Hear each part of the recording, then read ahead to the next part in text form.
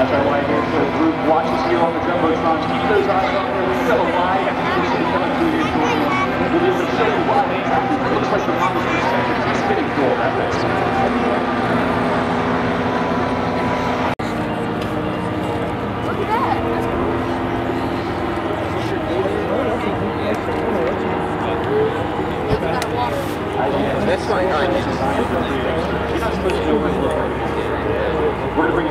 down now and some high barrel rolling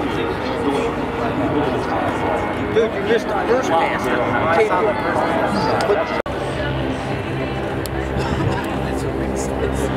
God, I can't believe it. Get those cameras out. Nikon cameras, sports Oscars alive.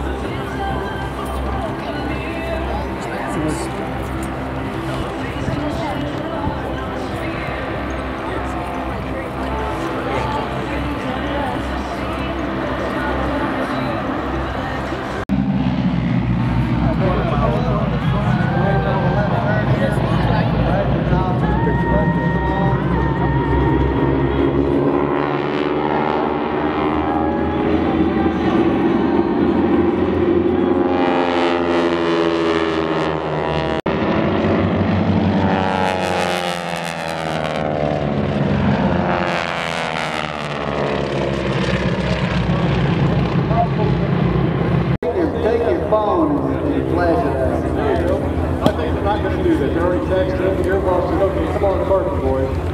Anyway, again, a great, great performance by the Aeroshell Aerobatic team. Let's hear it for them once again. What do you think of the night so far?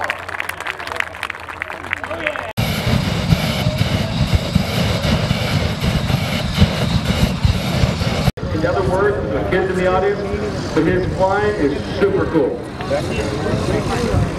I don't know what he's doing. They're too fast.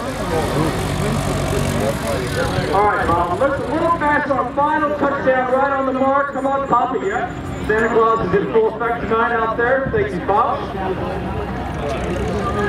And turn it off at about 220 feet. Now you notice, Bob's Cub there running standard wings, standard flaps. He does have VGs on it, but he doesn't have the big slotted Fowler flaps. Traditional gear. The airplane is not built up to be super, super light. It is a working airplane. If you need to get onto a sandbar, you need to get onto a riverbed, chase a moose, that's the Mansfield Fox.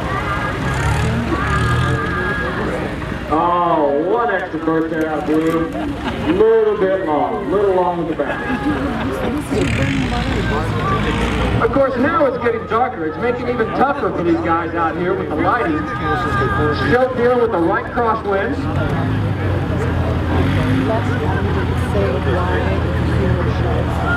Joe Doyle. And while these guys are all friends, they fly, they talk about a lot of techniques, they get together, they're off time, share secrets. Even though this is only demonstration according to the FAA, believe me, they're competing on each and every one of these passes.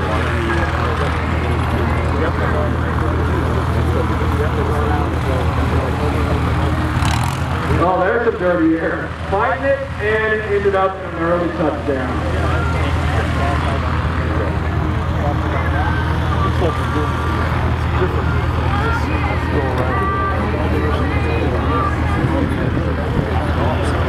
Mark Beatty coming in one more time.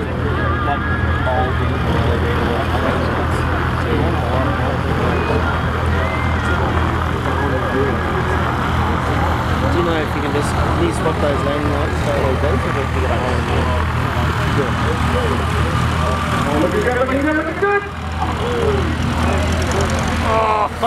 Yeah. I don't know what it was.